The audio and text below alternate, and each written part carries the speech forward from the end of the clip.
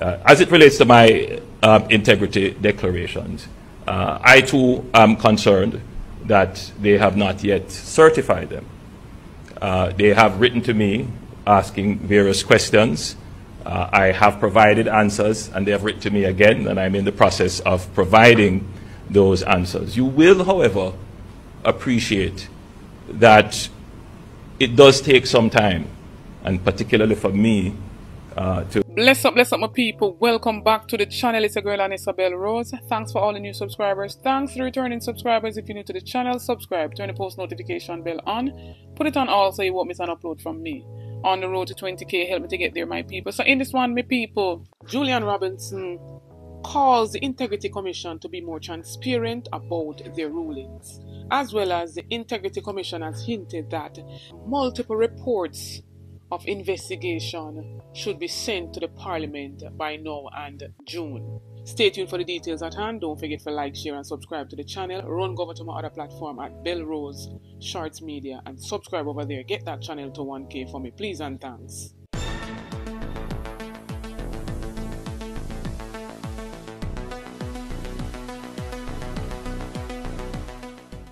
So, my people, following the Integrity Commission's latest rulings, my people, as it pertains to a Jamaica Customs officer and the corruption director of the Integrity Commission, Miss Keisha Prince Kameka, on not charging that customs officer on her failure to file a 2018 and 2019 statutory declarations and even not paying the fine that was given out to her. And we're seeing even the same fate had reached uh, Dwayne Vaz. And he was basically prosecuted, my people, was brought before the courts. And that didn't sit well with some of us, my people. And we're seeing a few owners saying that, you know, the IC, which is the Integrity Commission, basically you know, compromise. We're seeing some persons even calling out the corruption director saying that she's corrupted and whatnot. And so right now we're seeing Member of Parliament for Southeastern St. Andrew, Julian Robinson, calling for greater transparency of the integrity commissions about their ruling. And him basically advised the same concern of the director not prosecuting or not charging, you know, this Jamaica Customs for her failure to file. Mrs. Kameka said the decision not to charge was based on certain challenges in the documentation served to this customs officer. She also said that full rulings are not customarily shared beyond the commission. So basically, she's saying that they cannot get into the nitty gritty of why, you know, she wasn't charged. And so Robinson is basically calling for them to come and say more to avoid the perception of bias. Because only people even say the integrity commission's bias. Even if not the full decision at least a summary should be provided to us in the parliament because when i look on it without knowledge i'm trying to determine why go charge x person and why not charge y. And you clearly have very solid reasons for it but that's not shared with us. We may get to more serious offenses in the future. So I believe the commission, and I believe this is within our remit, Chairman, that the decision of the Director of Corruption Prosecution should be shared with the Parliament when the reports are tabled, not just the summary to say whether you're charging or not, but the reasons. It reinforces your need for the commissioners to be here, but I'm saying we are empowered as parliamentarians on this oversight committee to make recommendations. And I'm strongly recommending, very strongly, that it be provided. And it is to protect you from accusations of arbitrary, arbitrariness and bias. Because without more, that is the conclusion that people will draw. And so now, in our latest update, my people, from the Integrity Commissions, the officials have signaled that the new corruption probe reports are coming soon, my people. And soon in the sense of June, which is right around the corner. So, while signaling that investigations into the illicit enrichment and other acts of corruption require more time and extensive scrutiny, Director of Investigations at the Integrity Commissions, Kevon Stephenson, has signaled that the country will soon have an appreciation of the complexity of these probes when the anti corruption body releases reports on these offences to Parliament. He quoted, I am sure that very soon the Parliament and the country will understand the nature of some of these investigations just by virtue of reports that are produced by the work of the Commission. He said the Commission was conducting ongoing investigations, including statutory declaration related matters such as failure to file, failure to provide information, and false statements.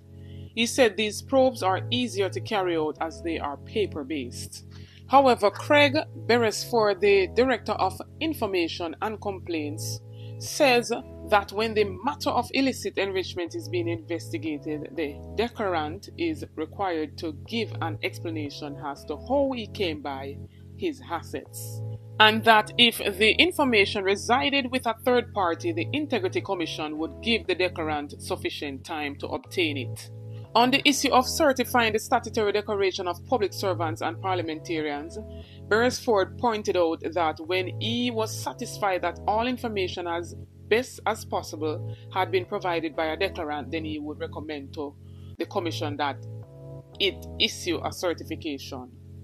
However, if the declarant cannot be certified, Beresford said a referral for investigation could be made. Section 42.4 of the IC law said that where the Director of Information and Complaints is of the opinion that an investigation in relation to a statutory declaration is necessary for the purposes of the Act, he shall refer the matter to the Commission for further and necessary action. It is really two outcomes. You either get the certification, or if we believe it is something that we feel we need to probe a bit further, the recommendation is made. And so we even seen some members of the Integrity Oversight Committee, you know, wanting to know why the Commission might certify a declarant statutory declaration in a given year and subsequent years raise concerns about the same information that had been provided previously, as in the case of Dwayne Vaz.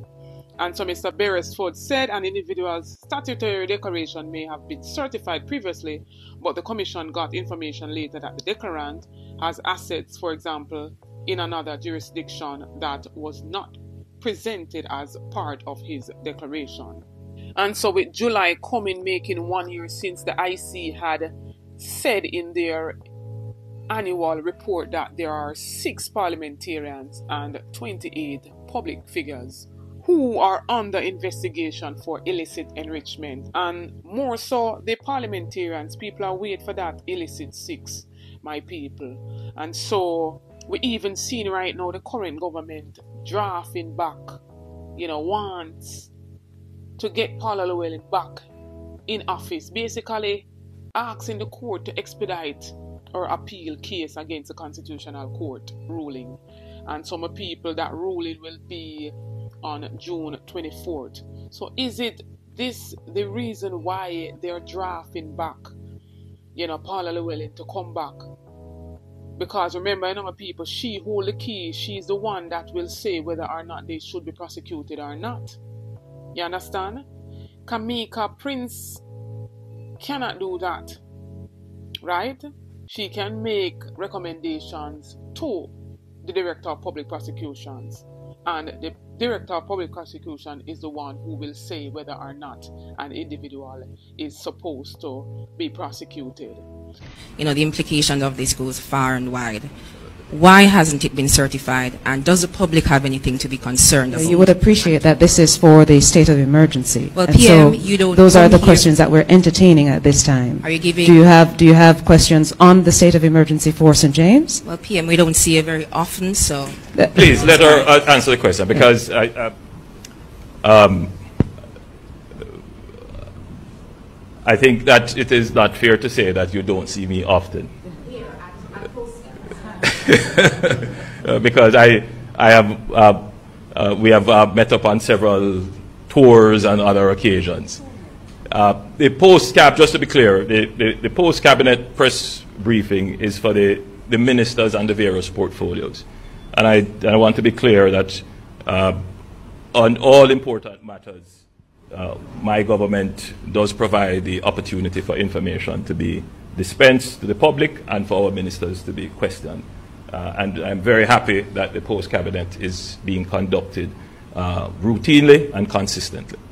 Uh, as it relates to my um, integrity declarations, uh, I too am concerned that they have not yet certified them. Uh, they have written to me asking various questions. Uh, I have provided answers, and they have written to me again, and I'm in the process of providing those answers. You will, however, appreciate that it does take some time, and particularly for me, uh, to get two or three days to go through matters and provide answers.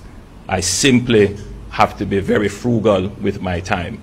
Uh, and I suspect the same for the Integrity Commission that have to go through um, several thousands of uh, declarations. But I would expect that they would give some priority to my declarations. Um, I do hope to be able to respond to them before the end of this week. So I'm hopeful that they would do their work and uh, provide the nation with the necessary certification. Um, to be clear, I have tried not to comment on the issue because I find myself in an invidious position in that I have to protect and defend most, uh, most times the institutions of the country. So I, you know, my silence should not be interpreted as not wanting to address it, but I do have another role, and that role is to protect and to defend the institutions, the laws that we have put in place. So um, I'm hopeful that uh, in short order this matter will be resolved. By the way, you should also know that it is quite routine that uh, the Integrity Commission will write to persons over and over again. And there would be several persons whose um, statutory declarations are not certified because they are in this continuous process of asking questions and trying to make determinations. Uh, my situation, obviously, would be public, and therefore it would cause some concerns. Uh, and so I accept and I acknowledge that. But it would not have been the first time that the Integrity Commission would have taken a long time to resolve my matters. And I suspect that as Prime Minister, uh, they would want to be very detailed in, in what they do. I would hope that uh, there is no difference in my treatment than given to others. And I really do not, uh, I would not want to think so. Some people more want from one another one and talk up and tell think. Right? The whole country needs more clarity on certain things and we're seeing the Integrity Commission coming out right now speaking on some of those matters that you know has been circulating out there in the whole social media space. Chat up to me, my people. Don't forget to like, share, and subscribe to the channel. Run over to my other platform, Instagram and Facebook, and follow me over there at Anissa Belle Rose. Check out the YouTube store, make a purchase, it goes in support of the channel. Check out the YouTube membership. You get a lot of benefits by becoming a member. Only a small fee per month to become a member of the Anissa Belle Rose movement. You'll get special badges to stand out in the comment section. You get member shout out and a whole heap of perks when you're a member of the channel. Member shout out goes to Angela and Ivan Wallace. Big up on the self assist. Thanks for the continued support on the channel. New viewers, come on board, journey with me, join the family. Subscribe to the channel, like up the videos, share out the videos, support the ABR movement by playing your part. On the road to 20k, let me get there, my people. Get this video to at least 2,000 likes. Stay tuned for more videos. Stay tuned for more updates. Big up on yourself.